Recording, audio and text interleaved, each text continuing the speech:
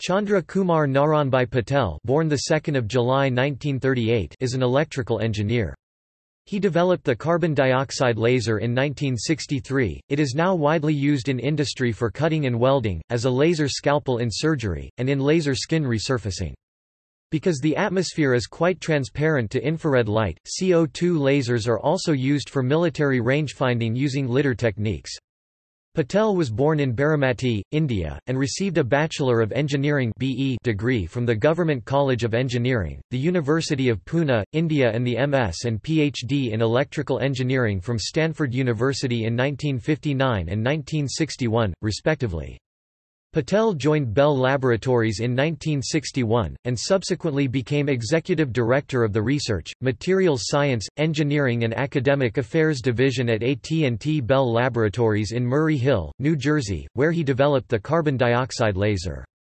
Patel's discovery, in 1963, of the laser action on the vibrational rotational transitions of carbon dioxide and his discovery, in 1964, of efficient vibrational energy transfer between molecules, led to a series of experiments which demonstrated that the carbon dioxide laser was capable of very high continuous wave and pulsed power output at very high conversion efficiencies.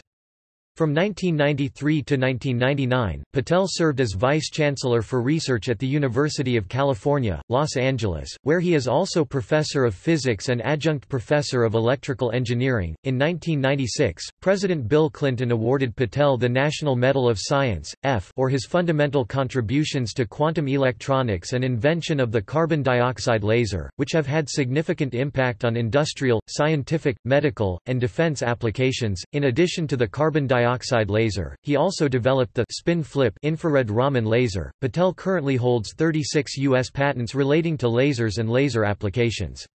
He is a member of the National Academy of Engineering and the National Academy of Science, and a Fellow of the American Academy of Arts and Sciences, the American Association for the Advancement of Sciences, the American Physical Society, the IEEE, the Optical Society of America, the Laser Institute of America, and the American Society of Laser Medicine.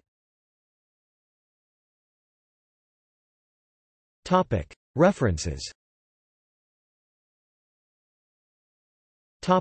External links IEEE History Center Biography Frederick Ives Medal by the OSA